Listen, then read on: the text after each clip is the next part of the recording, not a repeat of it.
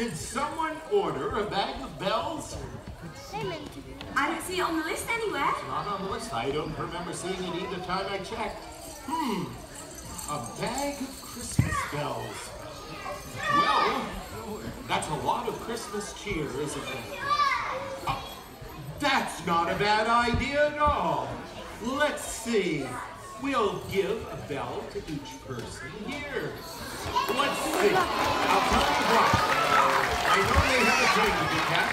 So, Holly, would you be so kind as to take that down to the trainman? And while you're on your way home, they'll make sure you each get a bell. Okay. Ho, ho, ho. Oh, why, thank you, Clement.